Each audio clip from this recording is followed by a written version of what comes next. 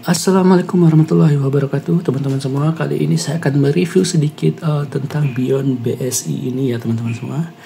Beyond BSI ini dari BSI yang mana mobile banking BSI akan bermigrasi sepenuhnya ke Beyond BSI ini ya aplikasi Beyond BSI by BSI pada aplikasi ini uh, nomor HP tidak perlu berada satu perangkat dengan aplikasi. Jadi dengan HP yang berbeda yang tidak ada nomor HP di sininya bisa menggunakan Beyond BSI.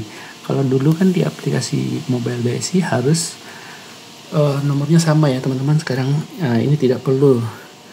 Nah, yang berikutnya adalah di aplikasi ini untuk transfer e-money seperti Dana, itu kena biaya admin 500 rupiah. Kalau transfer OVO kena biaya admin gratis. Cuma 0 rupiah. Kalau untuk trans apa isi e-money link aja kena biaya admin 1000 rupiah. Untuk hmm, top up e-money oh, GoPay kena biaya 2000 rupiah. Jadi ini tuh benar-benar murah sekali ini. Uh, Beyond BSI ini kalau untuk transfer top up e-money.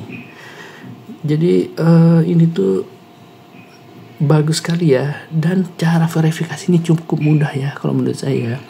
Verifikasinya itu dengan cukup wajah saja tidak perlu uh, apa namanya? video call video call kebetulan saya udah punya aplikasinya jadi cukup mudah.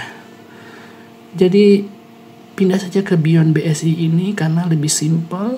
Cuma itu Beyond BSI ini kita tetap harus menyalakan uh, eh, GPS ya